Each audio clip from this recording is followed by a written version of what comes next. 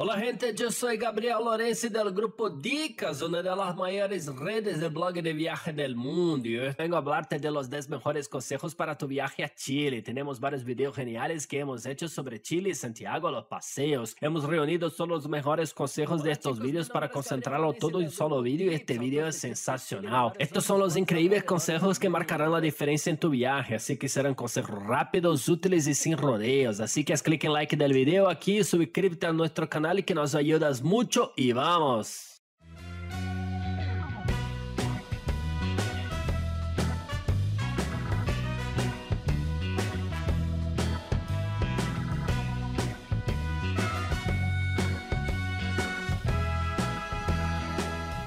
El primer consejo que creemos que es bueno darte y que influye mucho en tu viaje es la ubicación. Si vas a hacer un viaje a Chile, probablemente te alojes en Santiago, que es la ciudad principal y casi todas las atracciones turísticas están allí o desde allí. Así que nuestro consejo es alójate en el barrio de Providencia. Ya te hemos dado consejos estupendos. Nuestro video sobre dónde alejarse está muy bueno. Ahorrarás tiempo, dinero, llegarás fácilmente a los lugares y es un barrio muy bonito y muy agradable. Así que alójate allí, harás tu viaje mucho más fácil y si quieres ayudarte dejamos aquí en la descripción del video un enlace que hemos puesto de un buscador de hoteles que es más grande del mundo. Es lo que utilizamos para nuestros viajes allí, para buscar hoteles y los precios son muy buenos. Hemos podido personalizar un mapa, así que al hacer clic en este enlace se abrirá un mapa de esta región que creemos que es la mejor para alojarse en Chile. Así que solo tienes que abrir el mapa, introducir la fecha de tu viaje y mirar los hoteles que hay. La ubicación será excelente de todos modos. Ya hemos dejado allí el filtro de hoteles de 3 a 5 estrellas y de 8 a 10 opiniones de huéspedes. Toma nota porque esto garantía de un buen y agradable hotel. Así que si hay un hotel con buen precio en promoción ya reserva, este es otro consejo para que ahorres en alojamiento. Este buscador de hoteles tiene cancelación gratuita con casi todos los hoteles. Entonces, si encuentras un buen precio, ya lo garantizas y reservas porque los precios siempre aumentan con el tiempo, porque los hoteles se agotan dormitorios. Así que puedes garantizarlo ahora. Si quieres cambiar de hotel y de habitación más tarde, puedes cancelar y luego hacer una nueva reserva. Y quedándote allí en Santiago, puedes moverte por todos los puntos turísticos que hay dentro de Santiago. Estás a pocas horas de los otros puntos turísticos y ciudad que hay alrededor de Santiago.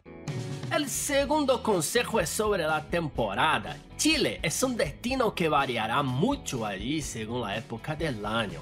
Así que vamos, los pros de ir durante la temporada alta, que es el invierno, la gente le gusta ir allí para ver la nieve y para esquiar. El pro es este, tendrá la nieve, tendrá las estaciones de esquí, podrás hacer esquí, snow, varios deportes extremos, allí verás mucha nieve. Pero para esquiar realmente es desde finales de junio hasta principios de septiembre, varía de un año a otro, así que investiga un poco cuál será la previsión para el año en que vayas y prográmate bien. Pero también te recomendamos que si no eres muy fan de la nieve y el frío vayas en otras estaciones porque la ciudad está mucho más vacía y es mucho más barata. Es muy bonita, puedes hacer los paseos, puedes ir a Valle Nevado, a las montañas que suelen tener las estaciones de esquí, pero no tendrá toda esta nieve. Pero el paisaje sigue siendo increíble y además merece mucho la pena. Nuestro tercer consejo es dividir bien los recorridos. En primer lugar, intenta centrarte en los recorridos que están dentro de la ciudad de Santiago. En la ubicación que te recomendamos estará cerca de todo. Los puntos turísticos que consideramos imperdibles son estos: el Palacio de la Moneda, la Plaza de Armas, el Costanera, que tiene un observatorio en la parte superior y un centro comercial en la parte inferior. Los miradores son muy bonitos. Hay el mirador de San Cristóbal, que nos parece el más bonito, que es el Cerro San Cristóbal, y también está Cerro Santa Lucia, que es un poco más pequeño, pero también es bueno conocerlo. Hay dos museos para que mires, pero tienes que saber cuál es más chulo, cuál te gustó, si no te gustan los museos. Y para la noche, para cenar, un lugar un poco más animado es del Patio Bella Vista, que es muy bonito, está en el barrio de Bella Vista, está lleno de restaurantes y bares. Estos son, en nuestra opinión, los principales recorridos chulos para hacer en Santiago. Ahora nuestro cuarto consejo es sobre los paseos que están fuera de Santiago, que en nuestra opinión son los más geniales del viaje, son más increíbles mismo. Ya tienes que planificar, así que el consejo es, planea quedarte unos días fuera de Santiago para que no acabes perdiendo tiempo, para que lo utilices para conocer la ciudad, para que tu itinerario no sea demasiado apretado. Así que reserva ya unos pocos días más de lo necesarios para conocer Santiago, porque hay muchos paseos interesantes. En nuestro orden de prioridad, la excursión más chula que no te puedes perder es el Cajón del Maipo. Está a una hora y poco de Santiago, es un paisaje increíble donde hay una represa artificial que hicieron para abastecer de agua a toda la ciudad de Santiago. Así que merece la pena visitarlo, aunque sea en la temporada en la que no hay nieve, porque el paisaje es muy bonito y muy chulo. Y el tercer tour que la gente hace mucho y que nos gustó mucho fue visitar Viña del Mar y Valparaíso. Son dos ciudades costeras muy cercanas a Santiago, es una hora y media más o menos. Y es muy agradable conocer la cultura del lugar, la historia tiene algunos puntos turísticos, entonces es muy agradable de conocer. Generalmente recomendamos hacer el paseo de un día con los otros paseos que mencionamos, el Cajón del Maipo y el Valle Nevado. Hay muchos viajes de ida y de vuelta, entonces usted sale de Santiago por la mañana y regresa al hotel por la tarde, así que acaba conociendo cada uno de estos lugares de interés en un día, así que reserve también un día. Y si te gusta mucho la playa, Viña del Mar parece una ciudad muy bonita, vale la pena pasar un par de días allí porque es un lugar muy agradable. Pero no son estas playas azules y hermosas para usar, al contrario, cuando fuimos no pudimos ni ir a la playa por el clima, la playa es algo diferente, es un poco más oscura y tiene muchas piedras, pero el paisaje allí es precioso, es una ciudad costera súper encantadora, merece la pena, nos gustó quedar unos 2-3 días allí, mereció la pena. Y un lugar más dentro del cuarto lugar que también es muy buscado es la vinícola Concha Toro, en realidad hay varias vinícolas en los alrededores de Santiago que son muy bonitas, intenta visitar al menos una, la más famosa es Concha Toro, que es una de las más grandes del mundo, es preciosa, verás las gigantescas plantaciones de uva, el proceso que hacen, te los enseñan todo y tiene una degustación incluida, así que podrás degustar varios tipos de vino y llevarás una copa a casa como recuerdo. Hay un paquete que es un poco mejor que puedes contratar allí, que es una tabla de quesos o unos bocadillos embutidos para que comas mientras haces la degustación. Es un recorrido muy bonito y además está muy cerca, está a una hora de Santiago. Entonces nuestro quinto consejo está relacionado con todos estos paseos, hay muchos paseos, Chile es un viaje en que hay que hacer todos los paseos porque esto es lo que hace genial en el viaje. Y nuestra recomendación es comprar todo por internet y antes, en tu país pagarás más barato, ya estará preparado, buscaría una agencia o empresa que sea de tu país, que hable tu idioma y que le atienda bien, es mucho más fácil, lo encontramos mucho más fácil. Y para estos paseos lejanos hay gente que le gusta alquilar el coche para ir a hacerlo, es una opción, pero hay que tener un poco de cuidado, los viajes nos parecieron muy complicados. El Cajón del Maipo y el Valle Nevado son acantilados, montañas como de película donde la carretera es muy estrecha. Puede tener nieve dependiendo de la época del año. Esta capa de hielo en la carretera, así que necesitas un equipo especial para tu coche. Si te gusta el coche, investiga un poco, pero puedes aventurarte si hacer estos paseos. Pero en nuestra opinión, la mejor manera, la mejor forma fue hacerlo con una agencia. Es mucho más fácil. Estos paseos que son más lejanos ya lo conocen, ya tienen todo el equipo, el transporte, ya conocen los lugares geniales para parar, así que vamos haciendo todo con ellos. Te recogen en el alrededor de las seis y media o siete de la mañana y vuelven por la tarde, así que ellos lo hacen todo y tú no te preocupas de nada, es realmente genial. Incluso dejaremos el enlace aquí abajo en la descripción del video junto con todos los demás enlaces, están aquí en la descripción del video. Voy a dejar una lista con todos los enlaces que utilizamos para planificar nuestro viaje. Este enlace que vamos a dejar es de una agencia que es súper reputada allí, son muy buenos. Acabamos haciendo los amigos y cerrando una colaboración a través de este enlace obtienen unos 10% de descuento en tus paseos, así que vende todos los paseos, puedes cerrar todo con ellos. Rellena el formulario, ellos entran en contacto por WhatsApp y te garantizarán toda la asistencia, te ayudan antes del viaje a planificar todo lo que quieras y allí también te garantizan toda la asistencia. Es muy agradable tener a alguien que te ayude en cualquier imprevista, es un cambio de plan con las excursiones, sabiendo qué ropa llevar, a qué hora ir, qué llevar, así que es muy bueno. Te recomendamos que hagas estos paseos porque realmente vale la pena y con con ello termina comprando entradas para todo porque hay todos estos paseos. Y también hay un paseo muy bueno que es el Tour y la vinícola Conchitoro, así que ya están incluidos ahí en todos los puntos turísticos de Santiago. Te hacen el Tour enseñándote todo, explicándote todo rápidamente y por la tarde vas a la vinícola. Así que haciendo este paseo junto con el Cajón de Maipo, junto con este paseo de Valle Nevado y Farellones y luego con Viña del Mar y Valparaíso, usted termina consiguiendo realizar todos los principales paseos, entradas y excursiones de tu viaje. Y si tienes alguna pregunta sobre el viaje, sobre cualquier cosa, puede ser una duda tonta o una importante, envíanos un directo o un mensaje en las redes sociales que te responderemos, te ayudaremos con mucho gusto. Le ayudaremos con sus dudas y consejos para tu viaje, nos gusta mucho ayudar, puede mandar que no hay problema. Así que síguenos ahí en las redes sociales, siempre estamos viajando por el mundo mostrando los consejos de viajes de una forma muy chula y también nuestra rutina familiar con nuestra pequeña que son baratas. Así que síguenos ahí y mándanos directos que ya te ayudamos. El sexto consejo es sobre el celular. Haciendo tanto paseo fuera de Santiago, teniendo que buscar tanta información o comunicarse uso del celular termina siendo esencial. Es muy importante el viaje a Chile, así como en cualquier otra, sí, chicos. Es muy complicado cuando se viaja fuera del país, al interior, a la playa, a cualquier lugar a que se vaya sin usar el teléfono móvil e internet. Así que ayuda mucho a buscar todo, a usar el mapa, a ubicarte, a mirar el horario de los establecimientos, a buscar restaurantes, necesitas el teléfono. Y para que uses tu roaming internacional de la operadora de tu país en el extranjero acaba siendo mucho más cara. Es la peor opción, no lo hagas. Lo que recomendamos es comprar un chip internacional de prepago. Hay varias empresas que venden ambos en el extranjero como aquí. Terminamos encontrando una muy buena allí en los últimos años. La hemos usado en todos nuestros viajes en Chile la señal fue excelente a todos los lugares lo que fuimos, especialmente los más remotos. Así que nos gusta recomendarlo por la calidad de la señal y el servicio. Tienen un servicio sensacional. Entonces entra en tu página web y yo dejaré el enlace aquí en la descripción. Compras el chip y unos días lo recibes en tu casa. Al llegar a Chile lo pones en tu teléfono en el avión y empieza a funcionar. Puedes utilizar fácilmente la internet para planificar y realizar todo tu viaje. Así que es muy bueno y ayuda mucho.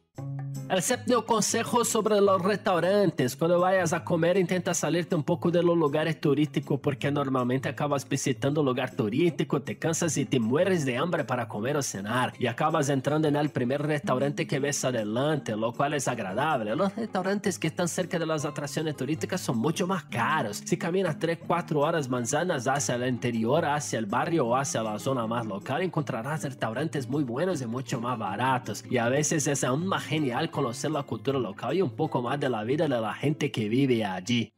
Así que traten de escapar un poco de estos lugares, disfruten del vino que es muy barato. Los vinos allá en Santiago son muy baratos. En Chile, Argentina en general son mucho baratos y son muy buenos vinos. Así que si te gusta el vino, usa y abusa de ellos.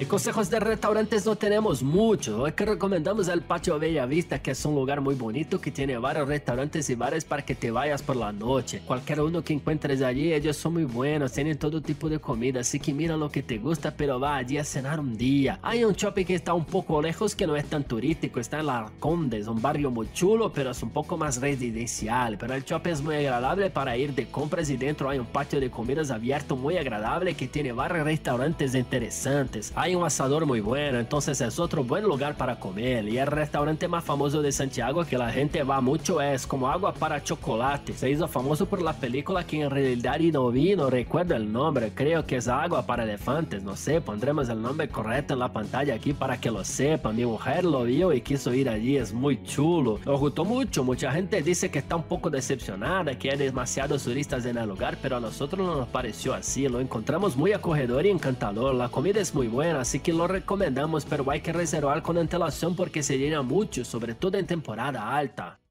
Y el octavo consejo es sobre las compras, donde comprar en Chile. No hay tantas tiendas en la calle como en otros lugares, calle con tiendas para ir a buscar. Hay mucho shopping, encontramos muchos shopping chulos. El Shopping Costanera Center, que es el centro de negocios más grande de Sudamérica, que tiene una torre gigante la que se puede subir en su observatorio, es muy bueno. No ha gustado mucho, los precios no parecen muy buenos. Comprar ropa para el frío es muy agradable, chaqueta impermeable para hacer las excursiones. Este es un consejo, sobre todo si hace frío, no te compres una chaqueta de cuero grande, nada, cómprate las impermeables porque te vas a mojar y empapar. Así que la recomendación es ropa adecuada para el frío y ellos ya recomiendan allí, están súper acostumbrados. Así que buscas estas tiendas porque la ropa de frío allí es muy buena y hay tiendas de todo tipo, encontrarás todo lo que necesitas en este que es uno de los shoppings más grandes de Latinoamérica, el más grande de Chile. Pero también hay otro shopping muy bueno que fue lo que comentamos allí, que fuimos a este patio de comidas que es una plaza abierta allí con varios restaurantes bonitos, el Shopping Arauco. No nos gustó mucho, tiene varias tiendas bonitas y no son tan llenos de gente, está un poco más en la zona residencial de Chile, así que eso es lo bueno, lo encontramos demasiado turístico, lo encontramos muy bonito y acabamos comprando varias cosas allí. Ah, y un buen consejo, si van a este shopping van al Parque Araucano, pocos turistas lo conocen, pero es hermoso, es un parque lleno de flores que se puede ver allí, es un lugar increíble para tomar fotos, no es tan grande ni siquiera turístico, pero encontramos uno de los lugares más hermosos del viaje, estábamos encantados con este parque. Encantado, ¿qué he dicho? Encantado, ¿cierto? Encantado con este parque. El noveno consejo es sobre alquiler de coches. Si quieres alquilar un coche, mucha gente alquila. Puedes hacer un montón de viajes chulos a muchas ciudades cerca de Chile. Puedes hacer un guion increíble en Chile. Hay gente que hace el viaje a Argentina también, a otros países aquí en Sudamérica para los que le gustan las aventuras. Así que hay varios itinerarios bonitos para hacer un coche, para ir a la vinícola un día. Así que hay algunas personas acaban alquilando. Es muy barato alquilar un coche en Chile. Es mucho más barato que Estados Unidos y Europa. El precio no nos pareció muy asequible y muy agradable nuestro consejo es que tengas cuidado cuando es invierno o época de frío. Tienes que ver si no necesitas ninguna precaución extra, las ruedas con esta cadena que te pones. Si vas a subir algunas montañas, a veces es mejor conseguir un coche un poco más aventurero, un SUV, una camioneta para que no tengas ningún problema. Así que vea bien qué paseos, dónde va a utilizar el coche, cuál es el mejor coche. No olvide utilizar los comparadores de precios. Siempre usamos una herramienta muy buena. Dejaré el enlace aquí en la descripción también. Puede poner la fecha de tu viaje y el destino. Ellos ya hacen la pesquisa en todas las empresas de alquiler de coche, que son muchas. Allí puede ver los precios más baratos, las promociones, acaba consiguiendo el mejor precio garantizado, te hacen ahorrar mucho. Así que no dejes de utilizar, usa el comparador de coches que es muy bueno. Y el décimo consejo es un consejo muy importante, gente, es el seguro de viaje internacional. A veces la gente no sabe lo que es y acaba olvidándose de hacerlo. No salga de tu país sin un seguro de viaje internacional porque es muy importante. Siempre lo hacemos antes de viajar. ¿Qué hace el seguro? Te cubre de cualquier gasto médico, hospitalización dental, robo de equipaje, pérdida de equipaje y diversos imprevistos que pueden ocurrir en tu viaje. Los precios son caros, una consulta médica, una hospitalización en el extranjero es muy cara y el seguro de viaje es muy barato. Para que tengas una idea, un buen seguro para un viaje de 10 días terminará costando unos 30, 35 dólares dependiendo de la época en que fuimos. Fue esto. Así que el precio es muy barato comparado con toda la cobertura que ofrece. Puede salvarte de muchos dolores de cabeza de verdad. Es muy rápido y fácil. Yo lo voy a dejar aquí abajo. También hay un comparador que es igual que el de alquiler de coches. Compara en todas las compañías de seguros, hace toda una búsqueda automática y te da todas las mejores opciones. Y compras en 5 minutos, haces y recibes por correo electrónico la póliza, la imprimes y la llevas a tu viaje para viajar tranquilo, pero no dejes de hacer la tuya. Y esto es todo chicos, espero que hayáis disfrutado del video. Si te ha gustado, haz clic en like y suscríbete a nuestro canal que nos ayudas mucho. Si te ha gustado o algo no te ha gustado, comenta, deja tu opinión. Si tienes algún consejo chulo, deja registrado la fecha en que viajará para que las personas que viajen en esta fecha también puedan interactuar con usted. Comenta abajo y síguenos en las redes sociales para dar una fuerza. Siempre estamos viajando por el mundo, mostrando cosas chulas allí, nuestra rutina con nuestra pequeña que son baratos. Y no dejes de ver el video cómo ahorrar mucho en tu viaje a Chile es un paso a paso que hicimos para que armes todo tu viaje con los mejores servicios y ahorrando mucho en todo, tanto a la hora de planificar como cuando estés allí, así tu viaje acabará saliendo mucho más barato y lo planificarás todos. Así que dejaré este video aquí al lado y aquí abajo la playlist con todos los demás videos de Chile para que lo veas antes de viajar. Eso es todo chicos, espero que hayan gustado y que tengáis un buen viaje.